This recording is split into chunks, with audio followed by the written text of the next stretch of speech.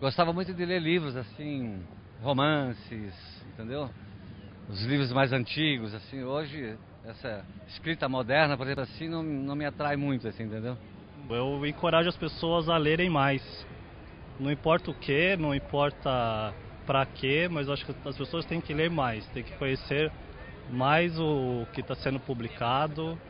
E eu me incluo nisso, porque eu acho que eu acabo lendo muito as mesmas coisas, né? Leio a Bíblia, leio livros interessantes a respeito de cultura, né, dinâmica, esse tipo de coisa. O brasileiro tem, é, tem pouca cultura. Pouca, tem mu é muito rico em cultura, mas não sabe a forma de, de chegar até ela. Acho que eu seja uma dessas pessoas.